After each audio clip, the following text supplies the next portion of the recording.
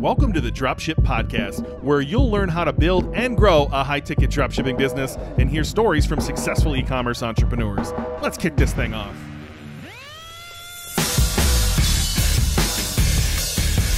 Hey, welcome to the Dropship Podcast. And today we want to talk about Google Ads. I think we get a question about Performance Max, PMax, and we can go into what that is probably once a week. And I think it's time we just put it to bed. And anytime we get this question, we can just send them this podcast. Performance Max is not the answer. Take it away, Jon. I actually got this question the other day in Facebook Messenger. You didn't know that. I actually did from somebody who I think is actually in our course. Hmm. Um, was asking, do you still do the campaigns the way that you've always done? Always, almost always done them. The three tier shopping campaigns. We talked about this on the podcast before, and we'll mention it again here. You know, is it is it time to run Performance Max? You know, Performance Max ads are Google's kind of automated. It's not even just a shopping thing anymore. It's like a, everything. It does shopping. It does search text ads. It does display. YouTube. It does YouTube. It shows uh, Gmail. You know, it shows all over the, basically the Google interface, all of Google's kind of interfaces, and um, basically lets Google do everything. Doesn't let you have much control over search traffic, search terms, bidding, anything. Just shows up everywhere, and it overrides everything else you're doing, right? Um, and it's all very automated, which is what Google's trying to, let's be fair, push people towards. And you know, I can kind of get where they're coming from with that, but at the same time, uh, the problem with it is, is that Google doesn't understand your business. Um, you know, high ticket dropshipping, you're running a really specific business model, right? Um, you've got spe- specific things you're trying to hit. You've got, you know, a particular margin that you're selling your product at. And, you know, at, at this point in time, it's just not, I think because Google's algorithms can't take that into account. And because Performance Max gives you no ability to tell Google, these are the type of search terms I want, like you have no ability to say to them, hey, you're getting it wrong I, would like you to swing more in this direction or something like that. Um, I just really haven't seen any evidence that it works for high ticket dropshipping businesses. I've certainly seen it work in other types of e commerce businesses, which primarily, for me at least, in my experience, like lower ticket, direct to consumer type products. Um, I have seen it work reasonably well in those sort of businesses, but yeah, high ticket dropshipping, I've heard quite a few people say that they were trying it and it just didn't work. It was the cost per sale was way too high for them to be profitable, um, and uh, they had agencies doing it for them and all of this sort of thing. And yeah, so at this point in time, it's not the answer. I'd kind of like it to be the answer though, right? You know, I mean, helpful. It'd be cool. Uh, I tried it too. I think there's an old episode where I I gave it a shot on one of my businesses on a term that lots of volume out there. We'll just say that, right? Uh, and I didn't even get a single sale. I spent a thousand dollars. I think, look, I think we should break it down, right? So let's break down what Performance Max does, and let's break down what our funnel does and why it's different. So Performance Max, again, it's going to show up on every single channel. You need to feed it lots of creative for it to even work. So it needs lots of images, it needs lots of headlines, it needs a lot of information that maybe you can provide, maybe you can't. Likely, when you're running a high ticket dropshipping business, you haven't built all of this creative. Where if you're running a direct to consumer business, you definitely have. You've you've had to create this creative. So they're just showing you for everything, likely showing you for your brand name a lot, unless you get a Google rep to pull you out for your brand name. Because you know it's great to show up for your brand name. Don't get me wrong, but that's how agencies skew your data. They run on your brand name and they squeeze the sponge, as my friend Taylor Holiday would say, and just grab you those sales so their numbers look good. Whereas you want to you want to find new customers, not people who have already found you and are coming back. Now, don't get me wrong, you want to get the people coming back too, but you want new customers. They're also running on very high volume generic terms most of the time. And so the idea that you're going to sell a $5,000 Memphis pellet grill, a top of the line pellet grill on the term pellet grill is just not realistic. Uh, you're never going to get that one to one ROAS. Maybe you'll get that traffic and maybe you have all the pieces in place to educate that customer and take them on their customer journey. Hopefully, you get to that point in your business, but in the beginning, you just won't. And so it's it's uh it's hard to imagine somebody early in their journey ever making performance max, and even later in your journey, you just need so much in place to make that profitable. Whereas what we teach is to choose the keywords you want to show up for. So a person searching pellet grill has very different intent than somebody searching Memphis Elite built-in pellet grill. Like they're they're looking for a very specific product. I would rather show up for that than I would show up for Pellet Grill. And certainly I want to pay more for that than I want to pay for Pellet Grill. And so while I like the idea of Performance Max covering a lot more bases, they're showing up on YouTube and more on the display network, more on text ads, and certainly they know who the customer is. They're following that customer around, right? Google knows everything about you, whether you want them to or not. I want the ability to show up when somebody's towards that bottom of the funnel and help them assist them on the rest of their journey, help them in the retail process, which is what we are. We're retailers rather than, you know, I hate the term drop shippers. We're retailers, right? And so can we take somebody at the bottom part of their journey and then hopefully as our business matures, we can expand through SEO, through text ads, to grabbing people a little further up the funnel and a little further. But the idea that you're going to flip on Performance Max, sell an air purifier on the term air purifier at a high ticket price that we need to sell at, right? A thousand plus, it's not going to happen. It's going to be very difficult for it to happen. So, one other point that I would point out is like think through margins. So, when you're running a direct to consumer company, you likely are shooting for a two ROAS. Like a two ROAS is really good for you know smaller dollar item direct to consumer things. So, if you don't know what ROAS, that's return on ad spend. So, if I spend 50 bucks on ads, I made $100 in sales. And if I sell a product that's whatever 20 bucks, 30 bucks. Well, let's say it's 20. So I made five sales for that 100. In that 100, I probably have 80% margin, 75% margins on that product. So I'm actually profitable, if not close to probably break even at a two ROAS. Now in high ticket dropshipping, if you have first off, if you have 70% or 80% margins in high ticket dropshipping and you're making sales, I want to give you a big hug. That would be amazing. That's not happening, right? You are a retailer. And so the brand themselves, they might have 75%, 80% margins, and they're giving you a smaller portion of those margins to be a retailer for their product, right? Usually brands like the Keystone. So if they make a product at 500, they'll retail it at 2000, sell it to you at 1000. Everybody gets a piece of the pie. You're probably going to have 20, 30, 40% margins in high ticket drop shipping. Certainly there's some, uh, outside cases like I had 5% uh, selling pitching machines and had to work my way up, but 20, 30, 40 is the average. So in that case, you're going to need to shoot for like a 10x ROAS on your ad spend, which is definitely possible. Anyone who tells you it's not is silly. I can show you many examples where this is possible. But you're going to need a 10x, right? So you spent $100, you got $1,000 in sales. On that $1,000 sale, which is probably one sale, right? You spent $100 to get one sale. You maybe made $200 or $300 on that sale, and you need to ship it and pay your fees. At the end of the day, maybe you come out with the other 100 on that piece, if that makes sense. So you have to factor in the fact that we need to acquire a customer at not less dollar amount, but less total percentage amount, right? Your ROAS needs to be much higher. Your return on ad spend needs to be much higher than direct to consumer companies who can run that performance max, can run, let Google run ads on very generic terms and probably convert because they're impulse purchases most of the time. They're lower dollar purchases where, again, we're not going to sell a pellet grill on the term pellet grill. Hey, if you've been thinking about starting your high ticket dropshipping journey with us here at Dropship Breakthru, but you've got questions, you're unsure about what's inside the course, you're unsure if it's right for you, or you just love to hear from the experiences of our students, you can jump on a free call right now with a member of our team who is also a Dropship Breakthru student and successful high ticket dropshipper to talk about all of those things. Just head to dropshipbreakthru.com forward slash call and book your call today. Yep. Yep, absolutely.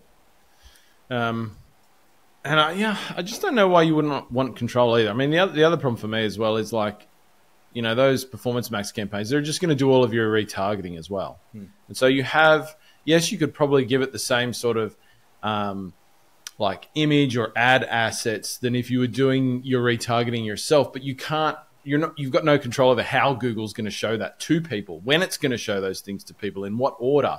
And so what you really want to do with your retargeting is create a customer journey based on how they got to your site in the first place and the products they've been looking at or the content they consumed or whatever it is. And you just can't do that with Performance Max. Um, and I, to me, I just don't see, like from that perspective either, because Performance Max is just going to override anything else you're running on the retargeting front as well. Um, and we've talked about on a recent um, episode, or a fairly recent episode, how important that was and how many touch points, you know, between one and 50 mm. these days before somebody's going to purchase from you. And so that's becoming, I think, uh, it was always important, but maybe an even more important sort of element to your marketing is is getting that right and doing that, you know, in a way that's unique to your business as well. And I just don't can't see that happening anytime soon, to be honest, with with Performance Max campaigns. So I was at a e-commerce fuel live, and I, I don't remember if it was last year or the year before, and somebody was presenting on this, and they were showing why Performance Max was valuable to the direct-to-consumer people in the audience, and he made a point of saying you should actually double up on this. And so, to what you said, if you run Performance Max and you run your own funnel that we teach, right, the high, medium, low priority funnel, PMax will override it. It will take over everything and it will have priority over your own funnel. So what this guy did was, again, they, they don't have very many products. This is easier. They created their own feed and then they duplicated it. So they put in one feed of all their products, ran PMax. They put in another feed of duplicated products. So the same product ID dash one, and then they ran a funnel on that one. So they had some control while they let PMax kind of do its thing, which I think is valuable when you're a smaller and a, a brand with bigger margins and they also had control to go after those keywords because you're not getting any data from Performance Max. And so they're hoping it's doing good. The numbers look good, but they can also then control that on their own funnel. I think since then they've actually like not allowed you to kind of do the separate thing or it doesn't work quite the same. I haven't tested that yet on high ticket dropshipping. I'm, I'm actually tempted. I wonder on a flushed out store where you have email sequences everywhere, where you have downloadables everywhere, you have, where you have all the remarketing set up, where you have a real system built out if filling that top of the sponge is again my friend taylor holiday calls it filling the sponge right can you just pour a bunch of water into the top of that sponge and then use that bottom of the funnel traffic the lower ticket seo uh, or the the longer tail seo the emails the remarketing to squeeze those those sales out of there provide that value i kind of want to test that strategy and that's the only time i think i would test it is in a very established business just in the beginning you don't have room for error you you you need to make sales one for your confidence, and two, just to you know, you want to break even in the beginning. You want to make a few sales in the beginning and make a little bit of profit so that you're encouraged to keep going. And, and if you're sending top of that top of the funnel, top of the sponge, if you will, pouring water in that sponge, it's just going to come right off the sides because you don't you don't have anything in place to catch all those people who might come there on a pellet grill, be interested, but how are they ever going to find you again? Yeah, yeah, I think. I mean, that would it would be interesting to test that for sure, and um, I think I would agree. The only place you can really test it, though, if somebody's listening and they're like, oh, "I'm just started, and I'm going to try that." Like, the problem you have, and the only the reason why you would only test that on a more developed store is the problem you have with PMax as well in a high ticket dropshipping business is just one of data, hmm. right? So not only does that algorithm rely very heavily on uh, user data, like the, the information, the 400,000 uh, data points Google apparently has on every single one of us, or they can track it relies heavily on that behavioral based data, but it also relies very much on conversion data on your own website. Mm. Like, uh, and that's how part of how those algorithms optimize is you have to have X amount of conversions in X time frame um, for it to know and recognize when a customer is when when a searcher is likely to turn into a customer. And without that, it can't optimize. And so the problem you have in a high ticket dropshipping business, particularly in the beginning, is we just make fewer total sales yes, they're really expensive, and that's the upside, right? This is one of the great things about high ticket dropshipping is you don't have to make a lot of sales individually to make a decent amount of money. The downside of that is is you don't generate enough con- much conversion data, like because it's not looking at the uh, the amount of the conversion; it's looking at how many individual conversion events are you triggering. And so, for most high ticket dropshipping businesses, to be honest, even if you're doing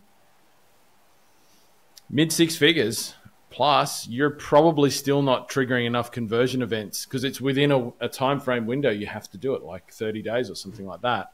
You you may still not be doing it enough for it to optimize and get your cost per sale down to the level it needs to be for you to live with it. Um, and so, once again, I mean, I'd agree. I, I wouldn't try it. I definitely wouldn't be using it in, or trialing it in the way that you mentioned until you know you're actually going to be able to feed that algorithm with enough data so that it has a chance to work for you. Look, I want to believe. If you look back, Enhanced CPC, I think was the first one mm. where it was like, we know what people are doing online. They know what websites you're visiting. Yeah. They know what YouTube videos you're watching. Google's watching you everywhere, right? A lot of places are watching you everywhere nowadays. yeah. And so they have a lot of information on you. And I want to believe that they can say, hey, somebody searched this, landed on your site, went back to YouTube, watched a video on this, saw another video comparing the two things, watched a lifestyler. You know, again, we use pellet grills. They went to your site, they searched a brand. So they're halfway down the funnel. They landed on your site, maybe on a collection page. Maybe you're running a text ad to a collection page. They surf around, leave your site. Later that night, they go to, to YouTube, and YouTube algorithm presents them with, uh, hey, this brand versus this brand, which you should definitely be creating, by the way.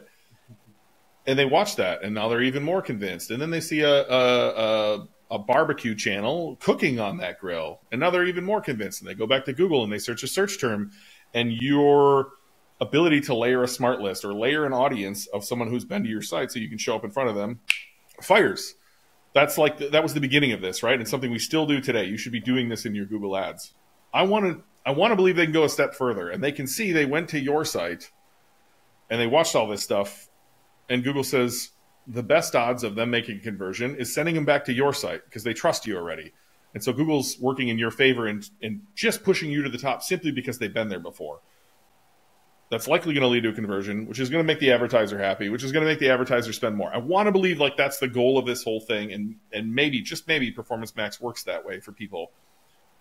I think it's slowly getting there. I think some of the things they're doing work really, really well, and in the past have worked. The Smart List was one of my favorite things they've ever built, and I want to say Performance Max will someday be my new favorite thing they ever built, or a variation of that, where they give you a little bit of control, but they also give you a little bit of what DeepMind is doing in the background, their AI. And so I just don't, I've said this before, I don't think it's there yet. I think they are there in some ways, and I think they're not there in others. Man, do I want to believe? I'm, a, I'm an optimist, I'm a futurist. I want to believe we're all going to this place where it is a little bit easier for Joe Bag to start a business.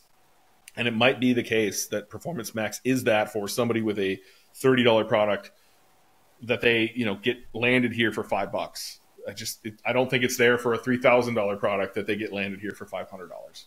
Yeah, where, where that comes in, and once again, I, am the same. I, I believe it's going to get there at some point, probably sooner than I think. Right, probably. But where where it gets there is when you can communicate with an AI, the AI in Google Ads, right? So you can you can you know how you can go into Chat GPT and basically train it mm. to produce something in the way you want it to be produced, right? You can feed it data and it will based on that data will give you back something.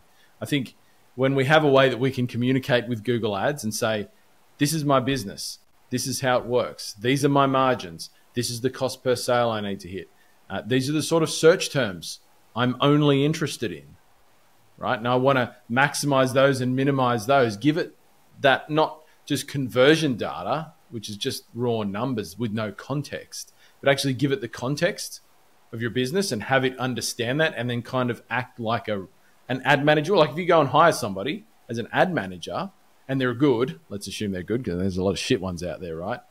They're going to go in and they're going to learn about your business and how it works and what your margins are on individual products and all that sort of thing.